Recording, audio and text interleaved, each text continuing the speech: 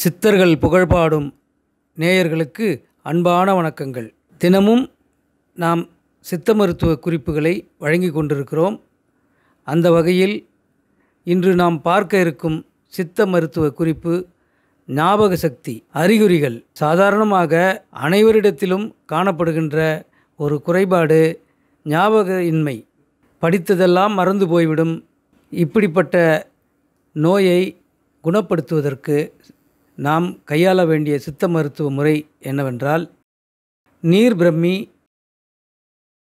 வல்லாரை சீந்தில் கொடி மூன்றையும் சம அளவாக அரைத்து ஒரு ஸ்பூன் வெந்நீரில் காலை மட்டும் சாப்பிட்டு வரவும்.